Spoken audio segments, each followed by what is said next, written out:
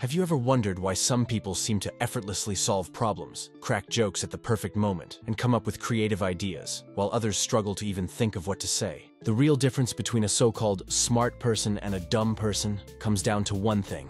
And the crazy part? Almost no one ever talks about it. In fact, schools spend years drilling equations and dates into your head. But they almost never teach you how to do this one thing, even though it could boost your intelligence in every area of life, and even make you more interesting in everyday conversations. By the end of this, I'm going to show you a simple 10-minute technique that scientists say can actually increase your IQ every single time you use it. Whether you're solving a tricky problem, explaining an idea, navigating somewhere without GPS, planning your finances, or even trying to be charming in a conversation, you're using one mental superpower that ties all of those skills together. It's your imagination. Sounds simple? Sure.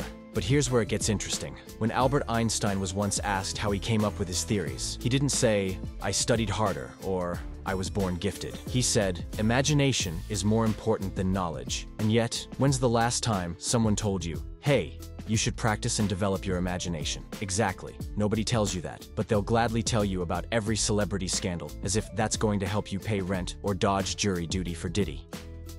Most people believe intelligence is fixed. They think you're either born smart or you're not.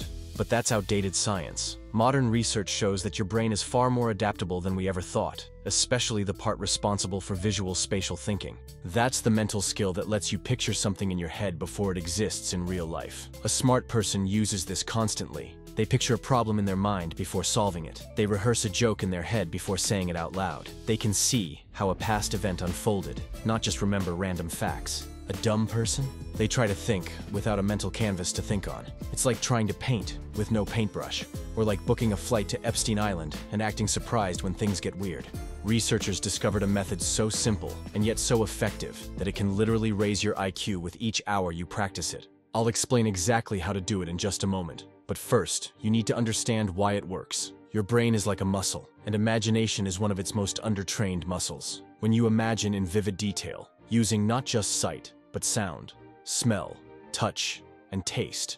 You activate a network of brain regions that are also responsible for problem solving, memory, and creativity. The more vividly you can imagine, the faster your brain can connect ideas that seem unrelated. And that's the real signature of intelligence. Kind of like how some billionaires can connect ideas between tax havens, private islands, and charity foundations without breaking a sweat. Here it is. Researchers say this can rewire your brain for higher intelligence. Image streaming. 1. Find a quiet place where you won't be disturbed. 2. Close your eyes and let your mind relax. 3. Without trying to control anything, allow random mental images to appear. 4. As each image comes up, describe it out loud, in real time, using as much vivid, sensory detail as possible. Not just what you see, but what you hear, smell, feel, and even taste. Always speak in the present tense. I see a vibrant red apple, glistening with dew. It smells sweet and feels cool in my hand.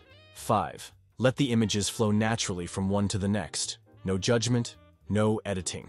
Continue for 10 to 20 minutes. In controlled studies, people who practiced image streaming daily didn't just get better at describing things. They started scoring higher on intelligence tests, in every area, from verbal reasoning to spatial awareness.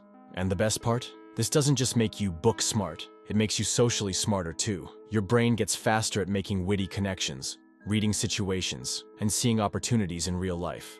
Genius isn't a gift, it's a habit. While the world obsesses over algorithms and gossip, your untapped superpower waits behind closed eyes. So stop wishing you were interesting and start painting reality on that mental canvas.